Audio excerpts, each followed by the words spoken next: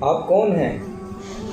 وہ are you اگر عموماً یہی سوال سبھی حضرات سے کیا جائے، تو نائنٹی پرتیشت اکثر لوگوں کا جواب اپنے متعلق ہوگا کہ میں فلاں ابن فلاں میرا نام یہ میرے والد کا نام یہ اس کے علاوہ بھی مذہبی شناخت کے اعتبار سے ہم کو ایک اور نام دیا گیا ہے۔ وہ ایک ایسا نام ہے کہ جو اپنے اندر بہت سی چیزیں رکھتا ہے۔ اس نام کے رکھنے والوں پر اپنے اوپر بہت سی ذمہ داریاں عائد ہوتی ہیں۔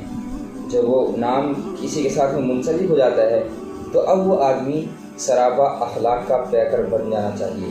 آئیے اسی نقطے کو آج ہم سمجھنے کی کوشش کرتے ہیں۔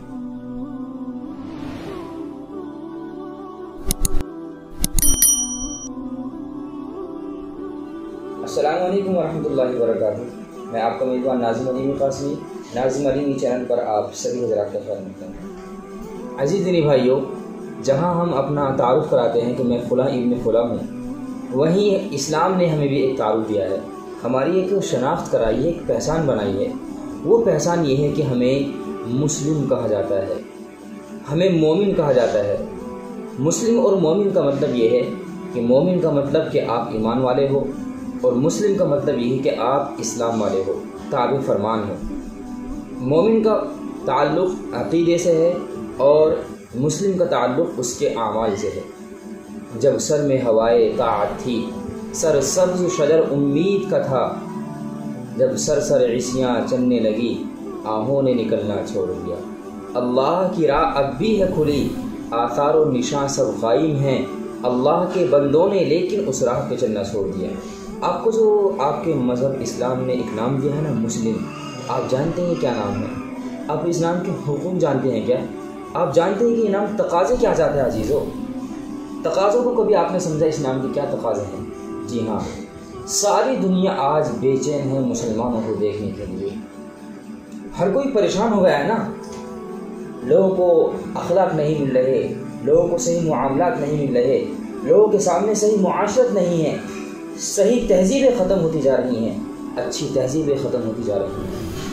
آج دنیا کو تلاش ہے مسلمانوں کی کہ جن مسلمانوں کو دیکھتے ہی اللہ یاد آیا کرتا تھا۔ عزیزو، آپ کا بھی خیال کرو کہ آپ کتنے محترم ہو۔ دنیا میں ہر بسنے والا مسلمان بندہ، وہ امیر ہو، غریب ہو، وہ چاہے دن میں کروڑوں کماتا ہو، یا جوتیاں چٹکا کر ایک ٹکا بھی اپنی جیب میں لے کر نہ آتا ہو۔ تمام کے تمام لوگ اس نام سے موسوم ہیں عزیز ہو سب مسلمان ہیں، سب مسلم ہیں۔ اور مسلم ہونے کا مطلب میں نے آپ کو بتایا، وہ اسلام والا ہوتا ہے، وہ تابع فرمان ہوتا ہے۔ اسے دیکھ کر لوگوں کو اللہ یاد آتا ہے۔ وہ اپنے گھروں میں، اپنی تہذیب میں جب رہتا ہے، اپنے معاشرے میں جہاں اس کا رہن سہن ہوتا ہے، لوگ اس کو دیکھ کر احترام ان کھڑے ہوتے ہیں۔ لوگ اس سے، اس کے متعلق جب جانتے ہیں، تو ان کی آنکھوں میں آنسو آتے ہیں۔ اس کے اخلاق کو دیکھ کر، اس کے رویوں کو دیکھ کر لوگ اس کی گرویدہ ہوتے ہیں، اس کے عاشق ہوتے ہیں۔ عزیز و، ساری دنیا آپ کو منتظر ہے۔ ساری دنیا آپ کو تلاش کر رہی ہے۔ کہیں کھو گیا ہے وہ مسلم، کہیں کھو گئے ہیں وہ نوجوان۔ کہ جب وہ کبھی راستے میں چلا کرتے تھے تو ان کی نگاہیں نیچی ہوا کرتی تھی راستے میں کوئی تکلیف دہ چیز اگر ان کو ملتی تھی نا، تو وہ اس کو ہٹا دیا کرتے تھے۔ ابھی حال ہی میں ایک زمانہ وہ بھی تو گزرا ہے کہ ایک غیر مسلم کو راستے میں کوئی تکلیف دہ چیز پڑی ہوئی ملتی ہے۔ جب اس نے اس تکلیف دہ چیز کو راستے میں پڑے ہوئے دیکھا، تو اس نے یوں کہا کہ لگتا ہے آج کوئی مسلمان یہاں سے نہیں گزرا ہے۔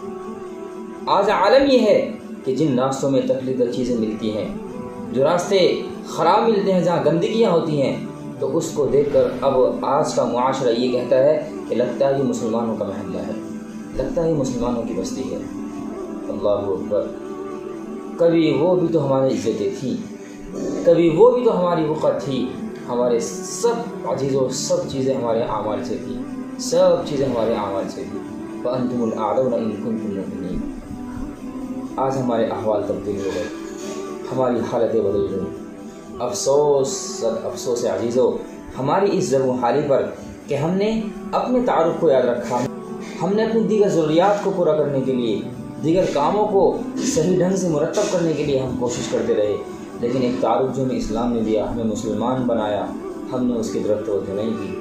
اس لیے آج ضرورت ہے کہ آپ کھڑے ہوئیے اپنے آپ کو پہچانیے۔ آپ خدا کی وہ عظیم مخلوق ہے جن سے ایک خاص گاؤں نہیں، خاص محلہ نہیں، بلکہ اللہ پورے عالم کو جن سے فیض